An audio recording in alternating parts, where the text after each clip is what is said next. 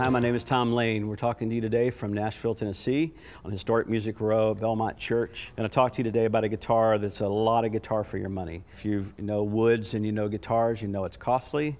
This guitar comes off the shelf with aged tops that gives you the benefit of the wood having lived and breathed a little bit so that you, you don't have to go through that yourself. Uh, this particular guitar has an Engelmann spruce top, has mahogany back and sides, Beautiful inlay on the top and around in the binding.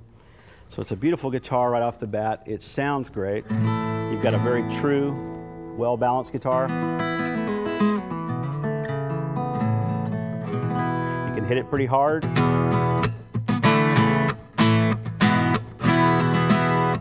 That's a benefit. It's not breaking up as much as you might would expect from guitars of smaller body size. So it's very well balanced, would record extremely well.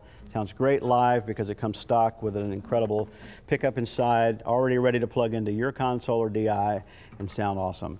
All for a price that you can't beat. I guarantee you, go try to find it.